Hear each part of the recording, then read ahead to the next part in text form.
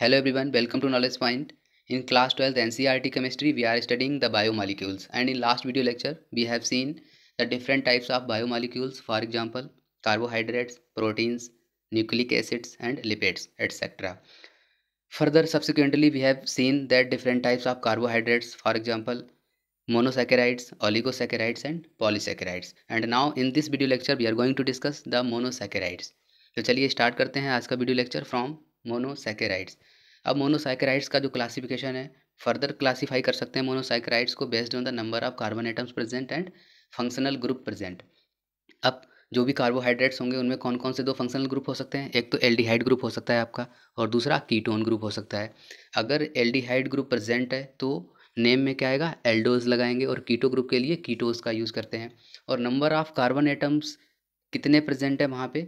जैसे कि अगर वन कार्बन है तो मोनो आएगा दो के लिए डाई आता है तीन के लिए ट्राई आता है सिक्स के लिए हेक्सा आता है फाइव के लिए पेंटा फोर के लिए टेट्रा इस तरह से आते हैं तो अगर किसी भी मोनोसाइकेराइड में number of carbon atoms present are three three atoms carbon के प्रेजेंट हैं तो वहाँ पे जनरल टर्म जो यूज़ करेंगे वो होगा ट्राईओज फोर के लिए टेट्रोस फाइव के लिए पेंटोस सिक्स के लिए हैक्सोज यूज़ करते हैं और उसके बाद देखते हैं कि कौन सा फंक्शनल ग्रुप प्रेजेंट है एल्डिहाइड के लिए एल्डोज और कीटोन के लिए कीटोज लगाते हैं तो इस तरह से अगर आपको कोई एक मोनोसेकेराइड गिवन है, जिसमें number of carbon atoms three हैं और उसमें एल्डिहाइड ग्रुप प्रेजेंट है तो उसका नाम क्या हो जाएगा? एल्डो ट्राइओस और एल्डिहाइड ग्रुप प्रेजेंट है, फोर कार्बन एटम्स हैं तो क्या हो जाएगा? एल्डो टेट्रोस इसी तरह से number of carbon atoms are three और कीटो ग्रुप प्रेजेंट है तो क्या हो जाएगा? कीटो ट्राइओस तो इस तरह से नॉमन करते हैं मोनोसेकेराइड्स का based on the number of carbon atoms and functional group present तो ये हो गया नॉमन अब मोनोसाइकेराइड का सिंपलर जो एग्जांपल है दैट इज़ ग्लूकोज ग्लूकोज देखते हैं। ग्लूकोज नेचुरली कहाँ आकर करता है? नेचुरली ये फ्रूट्स में पाया जाता है हनी में पाया जाता है और इसको प्रिपेयर कर सकते हैं किसके द्वारा? बाई यूजिंग सुक्रोज देखिए सुक्रोज को क्या किया जाए? सुक्रोज को अगर बॉयल कर दिया जाए in the presence of S two S O four या हाइड्रोजन क्लोराइड की प्रेजेंस में अगर इसको बॉयल कर दिया जाए तो क्या होगा? ये ब्रेक डाउन हो जाता है किसमें? ग्लूकोज और फ्रक्टोज में। सुक्रोज का फार्मूला क्या होता है? C twelve H twenty two O eleven इसकी क्या करा दी? हाइड्रोलिसिस करा दिया या dilute H two S O four के प्रेजेंट में इसको बॉयल कर दिया। तो किसमें कन्वर्ट हो जाएगा? ग्लूकोज में। एम्पेरिकल फार्मूला ग्लूकोज का क्या होता है? C six H twelve O six similarly fructose का फार्मूला भी सेम ही होता है बट इनकी प्रॉपर्टीज़ अलग अलग होती हैं। तो इस तरह से ये जो सुक्रोज का मालिक्यूल है, वो कन्वर्ट हो जाता है ग्लूकोज और फ्रक्टोज में। ग्लूकोज और फ्रक्टोज दोनों क्या हैं? दीज आर मोनोसेकेराइड्स तो इस तरह से ग्लूकोज को बना सकते हैं। दूसरा, ग्लूकोज को प्रिपेयर करने का मेथड क्या है? From starch. स्टार्च को सेलुलोस भी कहते हैं। तो स्टार्च की जब क्या करते हैं? हाइड्रोलिसिस करते हैं। In the presence of S two S O four ले लीजिए या एच सी एल ले लीजिए और या इसको क्या करिए? इसको बॉयल करिए कितने टेम्परेचर पे? थ्री नाइन्टी थ्री कैलविन पे और प्रेशर आपको रखना पड़ेगा दो से लेकर तीन एटमॉस्फेरिक प्रेशर तो इस केस में क्या होगा? जो ये स्टार्च होगा, ये कन्वर्ट हो जाएगा किसमें? ग्लूकोज में। सिमिलरली अब देखते हैं स्ट्रक्चर ऑफ़ ग्लूकोज ग्लूकोज होता क्या है basically glucose is a aldohexose means number of carbon atoms present are कितने? सिक्स होंगे। और ग्रुप कौन सा होगा इसमें? एल्डिहाइड ग्रुप होगा। तो इस वजह से ग्लूकोज को कहते हैं एल्डो हैक्सोज मीन्स क्या समझे? ग्लूकोज का एम्पेरिकल फार्मूला आपने देखा था, क्या था? C six H twelve O six तो सी सिक्स है तो इसका मतलब क्या आएगा? यहाँ पे हैक्सोज आ जाएगा। और इसमें एक एल्डिहाइड ग्रुप प्रेजेंट होता है तो इस वजह से यहाँ पे क्या लगा देंगे? एल्डो लगा देंगे तो इसका नाम क्या हो जाएगा? एल्डो हैक्सोज दूसरा नाम ग्लूकोज का डेक्स्ट्रोज भी है तो डेक्स्ट्रोज भी कह सकते हैं इसको एल्डो हैक्सोज भी कहते हैं, और ये जनरल नेम इसका ग्लूकोज है, वो आपको पता ही है। और साथ ही साथ इसको क्या कह सकते हैं? मोनोमर ऑफ़ लार्ज कार्बोहाइड्रेट्स, जैसे स्टार्च या सेलुलोस में क्या होते हैं? नंबर ऑफ़ मालिक्यूल्स होते हैं, बहुत सारे मालिक्यूल्स होते हैं तो उनका जो एक सिंपल मोनोमर है, एक मालिक्यूल है, अगर से एक सिंपल यूनिट प्रेजेंट हो तो उसको कहते हैं ग्लूकोज अब सबसे बात करते हैं, बात करते हैं स्ट्रक्चर ऑफ़ ग्लूकोज की. तो स्ट्रक्चर ऑफ़ ग्लूकोज को सपोर्ट करने के लिए कौन कौन से एविडेंसेस हैं, पहले उनको देखते हैं कि कौन सा एविडेंस किस टाइप के स्ट्रक्चर की बात करता है, फिर उनको सारे एविडेंसेस को और प्रॉपर्टीज़ को कंबाइन करके क्या स्ट्रक्चर दिया है केमिस्ट ने वो देखेंगे। तो सबसे पहले बात करते हैं एम्पेरिकल फार्मूला की। ग्लूकोज का जो एम्पेरिकल फार्मूला है, वो कैसे निकाला गया? इसका मालिकुलर वेट को मेज़र करके निकाला गया है। मीन्स जब भी जो इंडिविजुअल यूनिट्स होंगे, इनका जो मालिकुलर वेट होगा तो उस कैलकुलेशन से क्या है? इसका फार्मूला जो निकला, वो निकला C six H twelve O six means जो ग्लूकोज का मालिक्यूल होगा, उसमें number of carbon atoms present are six hydrogen twelve and oxygen six तो इस तरह से जो एम्पेरिकल फार्मूला आया ग्लूकोज का वो क्या आया? C six H twelve O six ठीक है? दूसरा एविडेंस क्या था? दूसरा एविडेंस ये था, जब भी ग्लूकोज को क्या किया गया? हीट किया गया in the presence of hydrogen iodide तो क्या बन गया? ये कन्वर्ट हो गया एन हेक्सेन में। मीन्स नंबर ऑफ़ कार्बन कितने थे? सिक्स थे तो ये कन्वर्ट हो गया हेक्सेन में। तो जब ग्लूकोज की रिएक्शन कराई हाइड्रोजन आयोडाइड के साथ और इसको हीट किया गया इस मिक्सचर को तो ये कन्वर्ट हुआ एन हेक्सेन में। इससे ये बात साबित होती है कि जो कार्बन एटम्स हैं, वो एक स्ट्रेट चेन में एक दूसरे से लिंक हैं। फिर क्या किया गया? ग्लूकोज की रिएक्शन कराएगी किसके साथ? हाइड्रोक्सिल एमीन के साथ रिएक्शन कराएगी तो जब ग्लूकोज हाइड्रोक्सिल एमीन के साथ रिएक्शन करता है तो ये ये कन्वर्ट हो गया किसमें? ऑक्सीम में कन्वर्ट हो गया। ऑक्सीम का फार्मूला क्या है? ये रहा। ऑक्सीम में कन्वर्ट हो गया। दूसरा ग्लूकोज हाइड्रोजन साइनाइड के साथ रिएक्शन करके किसमें कन्वर्ट हो गया? साइनोहाइड्रिन में कन्वर्ट हो गया। क्या दो एविडेंस मिले आपको? जब ग्लूकोज ने रिएक्शन करी हाइड्रोक्सिल एमीन के साथ तो ये कन्वर्ट हो रहा है ऑक्सीम में। और जब एक हाइड्रोजन साइनाइड का मालिक्यूल ग्लूकोज से ऐड होता है तो ये कन्वर्ट हो जाता है साइनोहाइड्रिन में। तो इससे ये बात साबित होती है कि इसमें एक कार्बोनिल ग्रुप प्रेजेंट है। क्या प्रेजेंट है? एक कार्बोनिल ग्रुप ग्लूकोज के स्ट्रक्चर में प्रेजेंट है। अब ये कार्बोनिल ग्रुप क्या है? एल्डिहाइड का है या कीटोन का है? इसके लिए फर्दर एक्सपेरिमेंट करने पड़ेंगे, फिर से देखते हैं। अब क्या किया गया? ग्लूकोज की रिएक्शन कराई गई किसके साथ? ब्रोमीन वाटर के साथ। तो ब्रोमीनेटेड वाटर जो होता है वो क्या कर देता है? ग्लूकोज का ऑक्सीडेशन कर देगा। जब ग्लूकोज का ऑक्सीडेशन हुआ तो ऑक्सीडेशन होने के बाद किसमें कन्वर्ट हो जाएगा? ये कन्वर्ट हो जाता है ग्लूकोनिक एसिड में। ग्लूकोज अपॉन ऑक्सीडेशन किसमें कन्वर्ट हो गया? ये कन्वर्ट हो गया ग्लूकोनिक एसिड में। तो इस बात से ये पता चला कि जो ये आपका कार्बोनिल ग्रुप प्रेजेंट है, ग्लूकोज में ये है एल्डिहाइड नेचर का। मीन्स कार्बोनिल ग्रुप दो टाइप का हो सकता है, या तो कीटोन का हो सकता है या एल्डिहाइड का हो सकता है। बट जब ये देखा गया कि जब ब्रोमीन वाटर की प्रेजेंस में ग्लूकोज का ऑक्सीडेशन कराते हैं तो ये कन्वर्ट होता है किसमें? ग्लूकोनिक एसिड में। इसका मतलब है कि जो ये कार्बोनिल ग्रुप प्रेजेंट है ग्लूकोज में, ये है एल्डिहाइड नेचर का। मीन्स एल्डिहाइड ग्रुप प्रेजेंट है इसमें। फिर से फर्दर एक्सपेरिमेंट किया, एसिटाइलेशन कराया। एसिटाइलेशन की प्रोसेस में क्या होता है? ग्लूकोज की रिएक्शन कराते हैं एसिटिक एनहाइड्राइड के साथ। तो जब एसिटिक एनहाइड्राइड ने ग्लूकोज के साथ रिएक्शन की तो ये कन्वर्ट हो गया किसमें? ग्लूकोज पेंटा एसिटेट में। तो ये रिएक्शन ने शो किया कि जब ये ग्लूकोज पेंटा एसिटेट में कन्वर्ट हो रहा है, इसका मतलब है कि इसमें पाँच हाइड्रोक्सिल ग्रुप प्रेजेंट हैं और वो पाँचों के पाँचों हाइड्रोक्सिल ग्रुप जो हैं, वो डिफरेंट डिफरेंट कार्बन से अटैच हैं। ये बात क्लियर हो गई। इसके बाद क्या किया? फर्दर फिर से ग्लूकोज का ऑक्सीडेशन कराया और ग्लूकोनिक एसिड का ऑक्सीडेशन कराया। अभी क्या देखा था आपने? जब ब्रोमिनेटेड वाटर की प्रेजेंस में ग्लूकोज का ऑक्सीडेशन हो रहा था तो ये कन्वर्ट हो रहा था किसमें? ग्लूकोनिक एसिड में कन्वर्ट हो रहा था। अब क्या किया? स्ट्रांगली ऑक्सीडेशन कराया किसका? ग्लूकोज का कराया और ग्लूकोनिक एसिड दोनों का ही स्ट्रांगली ऑक्सीडेशन कराया। तो ये देखा गया कि ग्लूकोज और ग्लूकोनिक एसिड दोनों ही सैकेराइड एसिड या सैकेरिक एसिड में कन्वर्ट हो जाते हैं। तो इससे ये बात कन्फर्म होती है कि जो एल्कोहलिक ग्रुप ओ OH इसमें प्रेजेंट है, वो प्राइमरी नेचर का है। Means primary O OH group present है इसमें ग्लूकोज में। तो इन सारी रिएक्शंस को स्टडी करके, इन सारे एविडेंसेस को देखकर और भी कुछ डिफरेंट डिफरेंट ग्लूकोज की प्रॉपर्टीज़ को स्टडी करने के बाद फिशर ने क्या किया? एग्जैक्ट स्पेशल अरेंजमेंट बनाया किसका? ग्लूकोज का, और वो कुछ इस तरह का था। ये रहा फिशर का स्पेशल अरेंजमेंट ऑफ़ ग्लूकोज, जिसमें क्या था?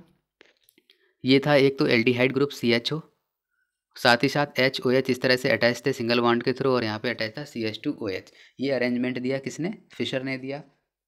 साथ ही साथ फिशर ने ग्लूकोनिक एसिड का इसी तरह का अरेंजमेंट दिया। सी एच ओ की जगह सी ओ एच आ गया यहाँ पे। सैकरिक एसिड का, यहाँ पे क्या होगा C H two O H की जगह सी ओ एच आ गया। दो C O H group attach हो गए तो ये कन्वर्ट हो गया किसमें? या ये होगा इसका नाम है सैकरिक एसिड तो ये अरेंजमेंट दिया किसने? फिशर ने दिया। अब ये जो ग्लूकोज है, वो भी दो टाइप का हो सकता है। कौन कौन से दो टाइप का हो सकता है?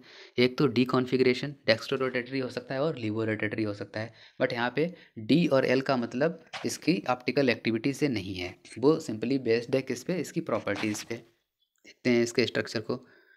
सबसे पहले साइकिलिक स्ट्रक्चर की ओर बात कर लेते हैं यहाँ पे। अभी तो स्पेशल अरेंजमेंट देखा था किसका? फिसर का स्पेशल अरेंजमेंट देखा। ग्लूकोज का किस तरह का है? अब बात करते हैं ग्लूकोज के साइकिलिक स्ट्रक्चर की।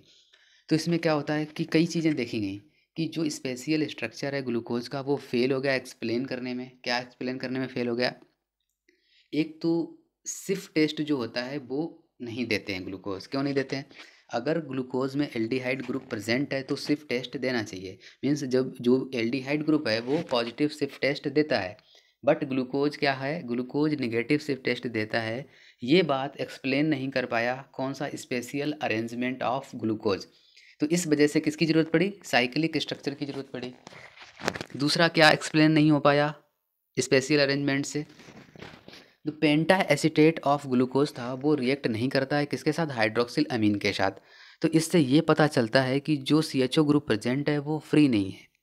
फ्री फॉर्म में प्रेजेंट नहीं होता है सी एच ओ ग्रुप तीसरा स्पेशल अरेंजमेंट से ये एक्सप्लेन नहीं हो पाया कि जो अल्फ़ा ग्लूकोज ऑप्टेंड होता है by the crystallization from the concentrated solution of glucose means जो कंसनट्रेटेड सोल्यूशन है ग्लूकोज को, अगर उसको क्रिस्टलाइज कर दें तो उससे जो अल्फ़ा ग्लूकोज प्राप्त होता है और दूसरा जो हार्ट और सैचुरेटेड एक्व सोल्यूशन को क्रिस्टलाइज करने से बीटा ग्लूकोज प्राप्त होता है तो ये जो दो फिनामिना है, एक ही एक जगह आपको अल्फ़ा ग्लूकोज प्राप्त हो रहा है, दूसरी जगह आपको बीटा ग्लूकोज मिल रहा है।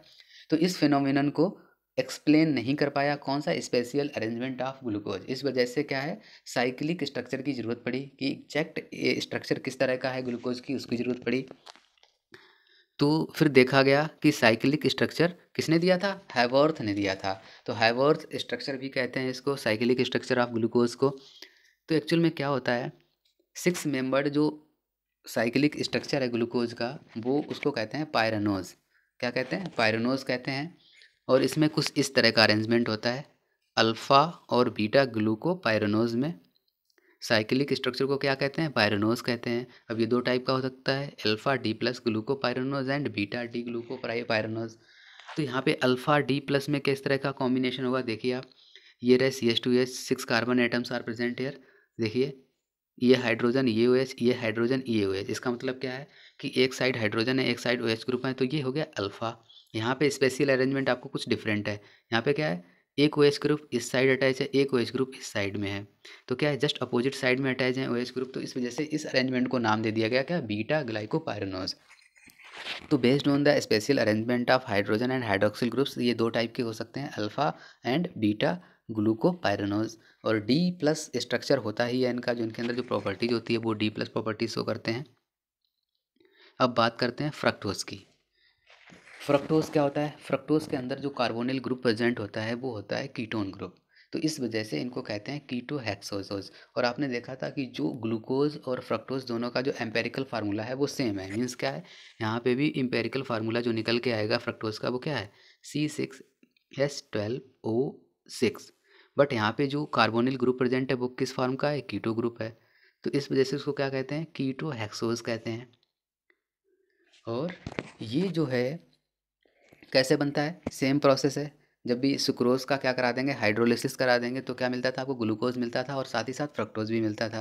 तो इस तरह से आप फ्रक्टोज को ऑप्टेंड कर सकते हैं और नेचर में भी ये फ्रूट्स में पाया जाता है, हनी में मिलता है और वेजिटेबल्स में फ्रक्टोज बहुतायत में पाया जाता है। स्ट्रक्चर की बात करें फ्रक्टोज के, एम्पेरिकल फार्मूला आपने देख लिया क्या है? Six six S twelve O six है और स्पेशल अरेंजमेंट ग्लूकोज, इसका फ्रक्टोज का कुछ इस तरह का होता है, C S two O H, C double one O और ये रहे आपके हाइड्रोजन एंड हाइड्रोक्सिल ग्रुप्स का अरेंजमेंट और साथ ही सी एच टू एच तो ये रहा स्पेशल अरेंजमेंट ऑफ़ किसका? फ्रैक्टोज का। और इस ये देख ही लिया आपने किस तरह से डिफरेंट है, किससे? ग्लूकोज से। ग्लूकोज का स्पेशल अरेंजमेंट अभी देखा था आपने? और उसको इससे कंपेयर कर लीजिए तो आपको नज़र आ जाएगा कि क्या डिफरेंस है दोनों में ग्लूकोज के स्पेशल अरेंजमेंट में और फ्रक्टोज के स्पेशल अरेंजमेंट में। ग्लूकोज में क्या होता था? यहाँ पे ओ ग्रुप लगा होता था इस तरह से। और यहाँ पे नीचे साइड में तो सेम ही होता था C H two O H आ जाता था, इस साइड हाइड्रोजन होता था, इस साइड ओ एच होता था, फिर यहाँ पे ओ एच आ जाता था, यहाँ पे हाइड्रोजन आ जाता था और दो सेम ग्रुप रिपीट होते थे, इसी तरह से एच ओ एच और फिर से एक बार एच ओ एच तो ये ग्लूकोज था आपका, ये आपका फ्रक्टोज है। और जो फ्रक्टोज मालिक्यूल होता है, ये एक्चुअली में लीवो रोटेटरी कंपाउंड होता है, और जो ग्लूकोज था वो कैसा था? डेक्स्ट्रो रोटेटरी कंपाउंड था। और यहाँ पे एक इसमें क्या है? ये है आपका फ्रक्टोज वो है लीवो रोटेटरी कंपाउंड तो देखिए, जो फ्रक्टोज है, वो भी दो तरह का होता है अल्फ़ा होता है और बीटा टाइप का होता है। Alpha beta depending on the special arrangement of hydrogen and hydroxyl group इसमें क्या होता है, देखिए फ़र्स्ट कार्बन कौन सा है? फ़र्स्ट कार्बन आपको नज़र आ रहा है, ये। सेकेंड कार्बन कौन सा है? ये। Third fourth fifth and six means second और सिक्स कार्बन के बीच में एक ऑक्सीजन का एटम जुड़ा रहता है फ्रक्टोज में। सिमिलरली यहाँ पे first second third fourth, fifth and six second and six carbon के बीच में क्या जुड़ा हुआ है? ऑक्सीजन का आइटम जुड़ा हुआ है।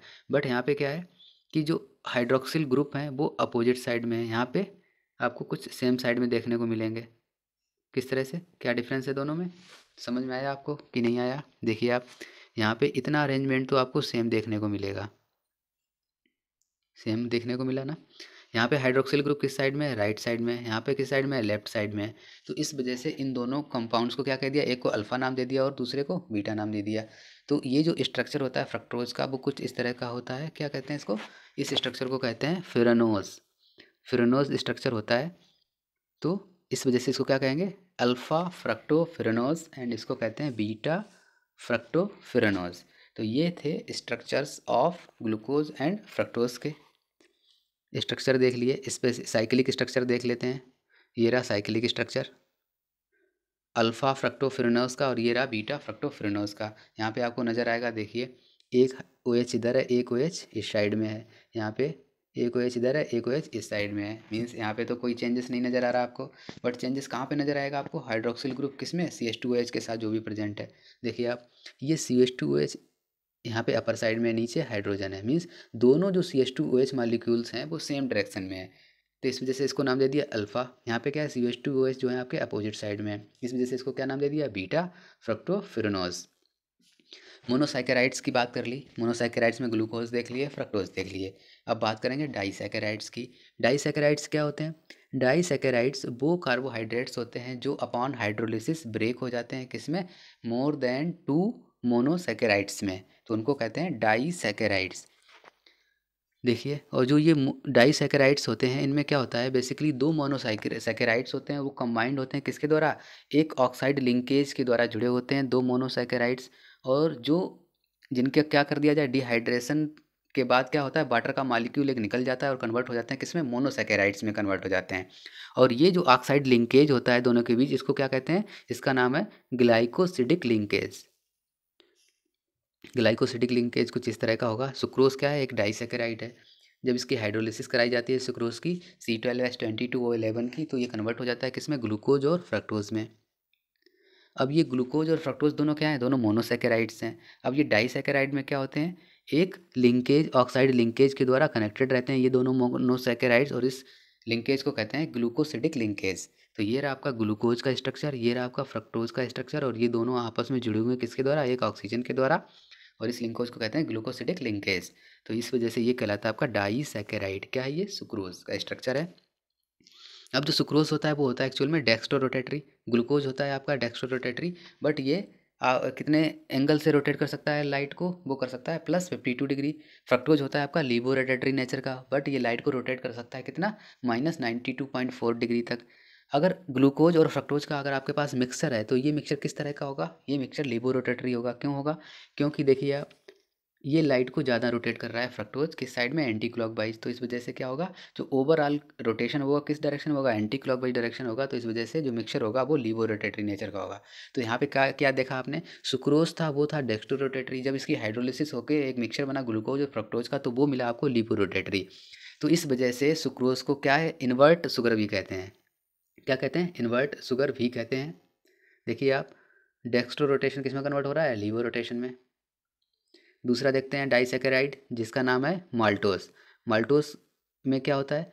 अल्फ़ा ग्लूकोज और अल्फ़ा डी ग्लूकोज मतलब दो सेम मोनोसेकेराइड्स लिंकेज होते हैं। किसके द्वारा? ऑक्साइड लिंकेज से जुड़े होते हैं। तो जब सेम अल्फ़ा ग्लूकोज किसके द्वारा जुड़े हों? ऑक्साइड लिंकेज के द्वारा जुड़े हों तो जो आपको डाइसेकेराइड मिलता है, उसको कहते हैं माल्टोस इसी तरह लैक्टोज एक डाइसैकेराइड है। इस, ये किससे जुड़ा होता है? इसमें एक बीटा गैलेक्टोज और एक बीटा ग्लूकोज जुड़ा होता है। किसके द्वारा? ऑक्साइड लिंकेज के द्वारा जुड़ा होता है और इसको कहते हैं लैक्टोज लैक्टोज ज़्यादा मात्रा में किसमें पाया जाता है? मिल्क में पाया जाता है। इस वजह से इसका नाम, दूसरा नाम क्या है? मिल्क शुगर साथ ही साथ इसको रिड्यूसिंग शुगर भी कहते हैं क्योंकि ये रिड्यूस हो जाता है आसानी से। तो आज के वीडियो लेक्चर में इतना ही। Thank you so so much next video lecture से आगे का फर्दर पार्ट देखेंगे।